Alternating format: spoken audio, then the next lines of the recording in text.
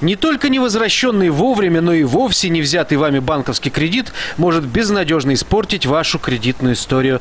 Это на собственном опыте узнал 25-летний екатеринбуржец Арсений Реднов. Два с половиной года назад Арсений имел неосторожность подать заявку на оформление кредитной карты в банке Home Credit. Последующие годы ушли у Арсения на выслушивание бесконечных телефонных угроз, хождение по банковским и полицейским кабинетам, судебные заседания и, наконец, обращение в СМИ.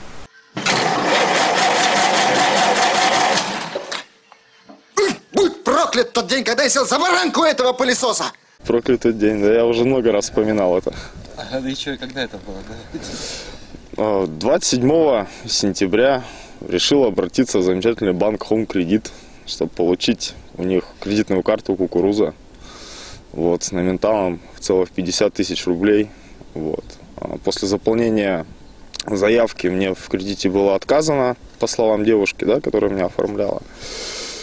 Ну, я со спокойной совестью уехал домой. Вот. Через два месяца начали поступать звонки со словами «погасите кредит, взяли деньги, отдайте деньги». Чувствуя свою правоту и желание исправить досадную ошибку, Арсений, работавший тогда сисадмином в транспортной компании, пришел в службу безопасности банка и рассказал, что никакой кредит он не брал, что сама же служба безопасности ему и отказала. Там провели внутреннее расследование и выяснили, что работница, кредитный менеджер, принимавшая у Арсения заявку, осенью 2011 года готовилась уволиться и стажировала новую сотрудницу. Вечером наставница отправила стажерку домой, а утром сообщила, что Накануне банк кредит Реднову одобрил. Тот получил карту с 50 тысячами рублей, а ты, будь добра, проведи договор. Казалось бы, факт мошенничества налицо, и косвенно Арсению это подтвердили. И в службе безопасности меня вот заверили то, что вы, говорит, сидите, не парьтесь. Вот, и мы, говорит, сейчас все решим. Однако телефонные атаки не прекратились, а стали чаще и напористей, а требуемые с Арсения суммы все крупнее. Полицию эта история не заинтересовала. В феврале 2012 года, 7 февраля, пошел в АБЭП на Фрунзе 74, написал заявление о том, что не брал я никаких кредитов, и вот с меня деньги вымогают. Заявление скиталось по различным отделам абсолютно. То есть сначала в 15 его направили, потом спасибо друзьям да, в погонах нашли это заявление. Оно оказалось в 14 отделе вообще милиции. Да, уже полиции.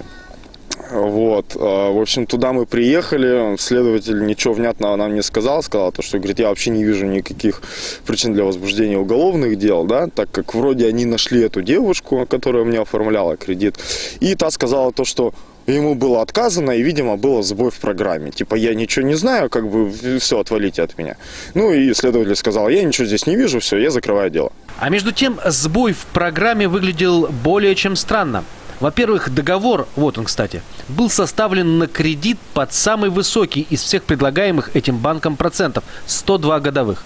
Плюс страховка от утраты трудоспособности или смерти в результате несчастного случая, еще 10% от величины кредита, плюс рассылка извещений по доллару за штучку, но главное, после обращения Арсения в службу безопасности, кто-то внес первый взнос в счет погашения кредита. А люди, имеющие представление об этом, подсказывают, только после поступления первого платежа от клиента сотрудница банка, оформлявшая ему кредит, получает премию за этот договор. Не получив защиту силовиков, Арсений сам написал заявление в суд. По судебному запросу он все-таки предоставил мой договор. Тут же на суде судья посмотрела его, говорит, вот, истец, вы подписи свои узнаете? Я говорю, нет. Их даже визуально не мои. Вообще не похожи ни разу. Назначили судебную экспертизу почерковедческую.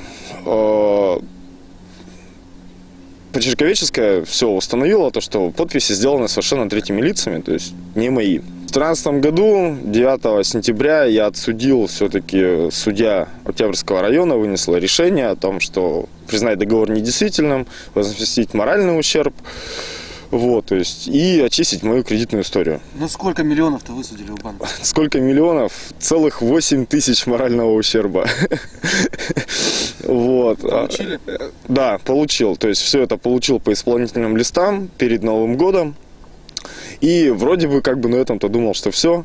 Но буквально недели полторы назад мне начали звонить коллекторы, мне начал звонить банк, мне начала звонить Национальная служба взыскания со словами «верните деньги», судов у вас не было, вы это все придумали, то, что у вас на руках даже есть бумажки, это все поддельные, вы их сами нарисовали. И прислали мне повестку в суд. Теперь они будут истцом, я буду ответчиком. И сейчас это все будет происходить в Ленинском суде. Согласно исковому заявлению, Арсений Реднов должен банку уже 90 тысяч рублей, включая упущенную банком прибыль. И первое заседание суда по этому иску назначено на 27 марта. Международный день театра. Хочется добавить театра абсурда. Иначе как еще назвать отношение Екатеринбуржца с этим кредитно-финансовым учреждением? Но суд может и не состояться, если сотрудники банка заберут свой иск из канцелярии суда. Именно в этом нас заверили сегодня в Екатеринбургском филиале Home Credit and Finance банка. Прежде всего я хочу от лица банка принести извинения Арсению Евгеньевичу за предоставленное неудобство. Для банка это нестандартная ситуация. А, мы вынесли все урок из этой ситуации, чтобы впредь подобного не повторилось. А, мы отозвали иск. Суд не состоится. Арсений Реднов подтвердил нам, что угрожающие звонки и смс ему действительно не поступают уже три дня. То ли это действительно просветление, спустившееся на банкиров, то ли подействовало его новое заявление, поданное в полицию за вымогательство как раз в минувший понедельник. Но молодой человек не жаждет крови. Это видно даже по сумме отсуженной им моральной компенсации. Единственное, что его по-настоящему беспокоит, это испорченная кредитная история, не позволяющая ему сейчас занять ни в одном из банков. Кредитная история была, была причем хорошая. Тот же банк Цетелем, да, который работал со Сбербанком. То есть у меня потребительские кредиты, они были взяты, они закрыты. А, были кредитные карты, но эти карты у меня банки быстро отозвали, когда я начал судиться с хоум-кредитом. Ну, попросили заранее, ну, досрочно ну, закрыть, и все, все, карта аннулирована. Я сейчас не могу взять в кредит даже какой-то миксер, вот, то есть все банки мне отказывают, а сейчас у меня стоит очень вопрос ребром жилищный, да, поскольку этим летом э, женился, в ноябре родился сынишка, и как-то хочется все-таки уже свое жилье, но в этой ситуации мне все банки отказывают во всех кредитах. Эту проблему, признавший свою вину банк, также пообещал решить. Кредитная история исправлена.